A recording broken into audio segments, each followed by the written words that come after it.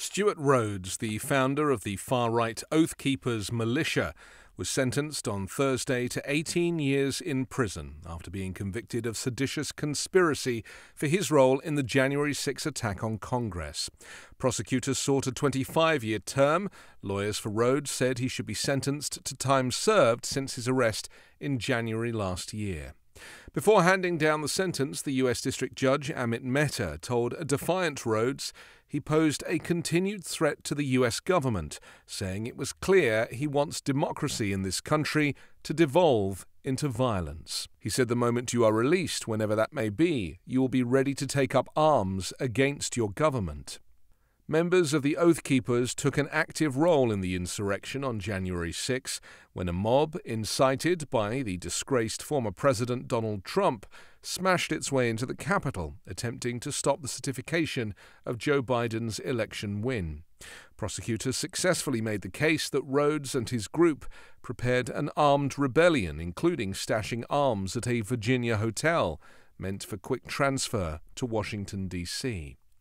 Other members of the Oath Keepers, some convicted of seditious conspiracy, are due to be sentenced this week and next week. Members of another far right group, the Proud Boys, will face sentencing on similar convictions later this year. But what about the instigators of this coup, on this attempt to overturn the legitimate election in 2020? And what about those who are supposedly or seemingly untouchable? By the Justice Department? Well, there are plenty of other characters in this cast, not least the disgraced former president himself, Donald Trump, who is currently at the mercy of several investigations by the special prosecutor Jack Smith. But what about people like the former White House Chief of Staff, Mark Meadows? He has very much been the linchpin in much of the organization of this coup, this attempted coup. Uh, his cell phone and the messages that he received and sent have very much been at the centre of evidence that was seen at the January 6 investigation. What about Dan Scavino, the former White House Deputy Chief of Staff for Communications, or Kash Patel, the former Defense Department official? Or even Steve Bannon, the former Trump advisor, who continues to spew propaganda about what happened that day.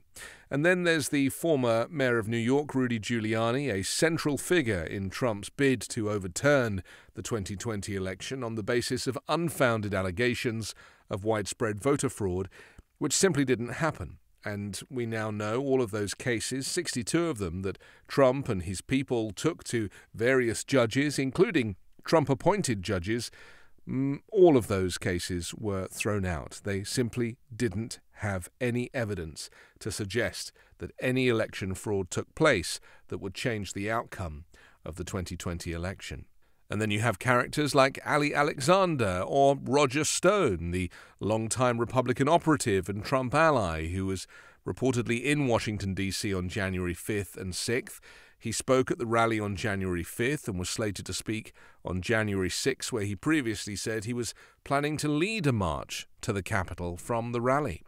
Uh, Alex Jones, the conspiracy theorist who worked with rally organizers to facilitate a, a donation to provide what he described as 80% of the funding for the January 6 rally.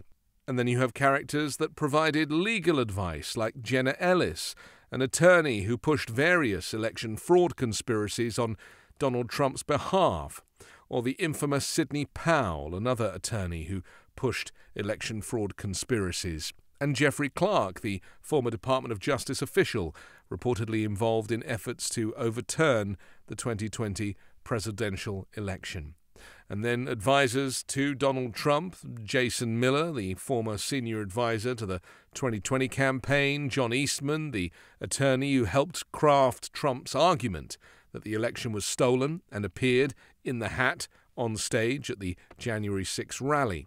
Michael Flynn, the former Trump national security advisor, who admitted lying to the FBI twice, eventually pardoned by Donald Trump. He was involved in the meeting about how the Trump campaign wanted to promote the lie that the election was stolen. And then you have characters like John McEntee and Kayleigh McEnany and Stephen Miller people who were very much part of this conspiracy that helped spread the message that the election was in some way stolen. And then finally, a character who actually went on TV several times since and has exposed the entire plot to overturn the election, the, the, the coup in plain sight. That's Donald Trump's one time trade advisor, who, following the US Capitol riot, has consistently defended efforts to overturn the election, Peter Navarro, who, for some reason, didn't think that any of this stuff was illegal. So, despite the Oath Keepers founder, Stewart Rhodes, being sentenced to 18 years over the January 6 attack, it wasn't actually his idea. It wasn't actually his plan. This plan, this whole coup, is very much at the feet of the former president, Donald Trump. He was the one that was refusing to accept the results of the election. He was the one who encouraged people to storm the Capitol. He was the one involved with the fake electors and this whole plan for Mike Pence to not certify the election. Um, and he was ultimately the mastermind behind the Capitol insurrection. And for that reason, it's Donald Trump that should be getting 18 years for seditious conspiracy. I'm Anthony Davis. You can hear me every day on the 5 Minute News podcast and on Sundays on the Weekend Show with Midas Touch.